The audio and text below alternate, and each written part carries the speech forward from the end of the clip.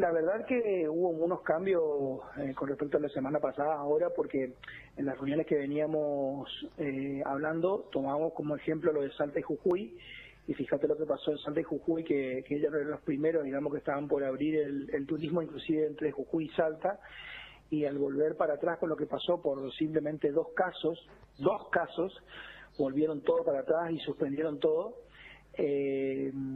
bueno, yo creo que que eso es lo que nosotros teníamos que ver con la provincia, de que no decían volver para atrás cuando uno necesita programar para poder vender un viaje. Lo que sí nosotros tenemos, digamos, como ventaja, que creo que cada una de las provincias tiene sus virtudes. En el caso del Chaco tenés el impenetrable, en el caso de Misiones tenés, bueno, las cataratas, eh, los saltos del Tabaí, eh, no sé, el circuito Cheguatero, el San Ignacio cada localidad tenemos. Bueno, nosotros los correntinos tenemos el de Liberá, creo que es nuestro fuerte. En Capital tenemos todo lo que es la parte religiosa. Y,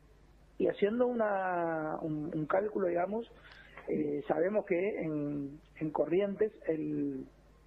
si no te más del 80% de los capitalinos no conocen los esteros Liberá.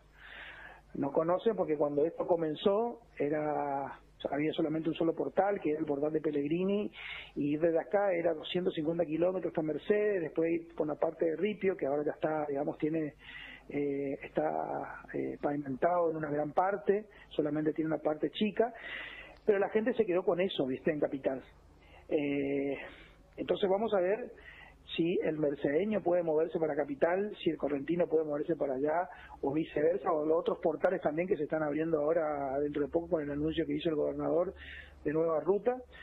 y eso va a permitir de que uno en auto pueda ir a hacer, eh, no sé, a 150 kilómetros, tenemos Concepción, tenemos San Miguel, eh, después está Ituzaingó, que es el que sigue, digamos, en distancia, nosotros apostamos también, porque tenemos charlas con empresas mayoristas de todos lados, a que puedan abrirse la frontera y, que puedan venir desde otros lados, porque la verdadera ganancia está ahí. Eh, no creo que con el correntino en sí las agencias puedan tener, pero me parece que es hora de, ver otras cosas y reinventarse, porque no. si uno me preguntaba a mí, yo esto veo por una reactivación a partir de julio del año que viene.